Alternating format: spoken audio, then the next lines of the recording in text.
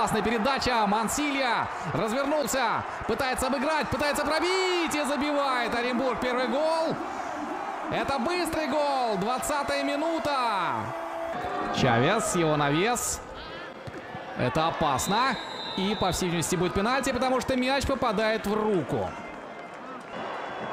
У точки удар. И Москвичев спасает свою команду. Спасает, но все-таки... Все-таки мяч летает в сетку ворот.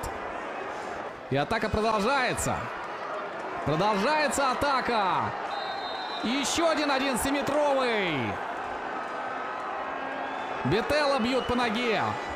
Это Маухуб забивает. Забивает марокканец. Динамцев было побольше. Еще момент. Это гол. Это гол. Все-таки забивает Оренбург. Вы бы видели, что сейчас в Белграде творится.